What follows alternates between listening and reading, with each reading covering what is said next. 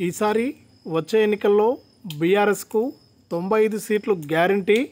South ఇండియాలో third time సీఎంగా KCR record sure. ఇలాంటి ఎన్నో కామెంట్స్ మంత్రులు గులాబీ నేతల నుంచి వినిపిస్తూ ఉన్నాయి. ఆ ఫలితాల కోసమే బీఆర్ఎస్ కసరత్తు మొదలుపెట్టింది. ఎన్నికల హామీలు వాగ్దానాలతో సరికొత్త అస్త్రాల పొదిని సిద్ధం చేసేలో పనిలో మొదలైంది. ఏ స్కీమ్కు ఎలాంటి ఆదరణ ఉంటుందనే చర్చలు షురు అయ్యాయి. సరైన టైంలో పథకాలను బయటకు తీసి విపక్షాలకు షాక్ ఇవ్వాలని బీఆర్ఎస్ భావిస్తుంది. దీనికంతా వెయిట్ ఉంటుందనే లెక్కలు సైతం ఇంటెలిజెన్స్ వర్గాలు క్షేత్రస్థాయిలో ఆరా తీస్తున్నాయి. ప్రజల స్పందనను పరచగెడుతున్నాయి బీఆర్ఎస్ అధినేత మదిలో ఉన్న కొన్ని స్కీమ్లు ఆయన సన్నిహితుల ద్వారా సమాచారం అయితే తెలిసిందనమాట. ఇక రైతులకైతే మనకు బీఆర్ఎస్ మేనిఫెస్టో అనమాట ఇది. వచ్చే ఎన్నికలకు సంబంధించి ఈ మేనిఫెస్టో అయితే గులాబీ బాస్ అయితే సీఎం కేసీఆర్ గారు అయితే ప్రవేశపెట్టబోతున్నారని కూడా సమాచారం అయితే ఉంది.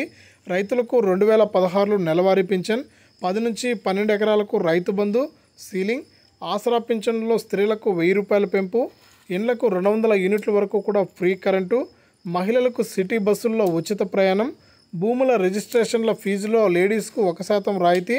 ఇక ఈ విధంగా సరికొత్త సంక్షేమ పథకాలతో పవర్లోకి రావాలని బీఆర్ఎస్ ప్రయత్నిస్తుంది. ఇప్పుడు అమలవుతున్న వెల్ఫేర్ స్కీములకు కొన్ని మార్పులు చేయడంతో పాటు బలమైన హామీని ఇచ్చి ఓటర్లకు దగ్గరయ్యే ప్రయత్నాలపై చర్చలు జరుగుతున్నాయి. ఏ స్కీమ్తో ప్రజల నుంచి ఎలాంటి ఫీడ్బ్యాక్ వస్తుందో ఇంటెలిజెన్స్ వర్గాలు ఇప్పటికే ఆరా తీసే పని మొదలుపెట్టాయి. ఆ వర్గాల నుంచి సృష్టమైన నివేదిక అనేది వచ్చిన తర్వాత వీటిపై బీఆర్ఎస్ అధినేత నిర్ణయం తీసుకునే ఛాన్స్ కూడా ఉంది. ఇక అబ్బురపడే స్కీమ్ను తెస్తానంటూ చాలా ఏళ్ళుగా సీఎం కేసీఆర్ ఊరిస్తున్నారు. ఆయన మనసులో ఉన్న ఆ అబ్బురపడే స్కీమ్ ఏంటో పార్టీ నేతలకు కూడా తెలియదు. విపక్షాల చెవిన పడకుండా ఆ స్కీమ్ గోప్యంగానే ఉండిపోయింది. సరైన సమయంలో ప్రకటించి బీజేపీ కాంగ్రెస్ పార్టీలను గుక్క తిప్పుకోకుండా చేయాలన్నదే కేసీఆర్ ఊహం. ఈసారి బీఆర్ఎస్కు గెలుపు ప్రతిష్టాత్మకంగా మారింది. ముక్కోనపు పోటీ అనివార్యం కావడంతో ఓట్ల చీలికను నివారించడంపై ఫోకస్ పెట్టింది. రైతు బంధు దళిత బంధు స్కీమ్తో ఆ సెక్షన్ ఓటర్లకు దగ్గరయమైన భావన ఉన్నప్పటికీ కూడా ఈసారి విప్లవాత్మకమైన స్కీమ్ని అయితే తీసుకురావడంపైన దృష్టి అయితే పెట్టిందనమాట ఇక డిసెంబర్లో ముందస్తు ఎన్నికలు ఉన్నటువంటి కారణంగా మనకు ఎన్నికలు ఉన్నటువంటి కారణంగా ఈ పథకాలు అయితే అమల్లోకి వచ్చే అవకాశం కూడా ఉంది.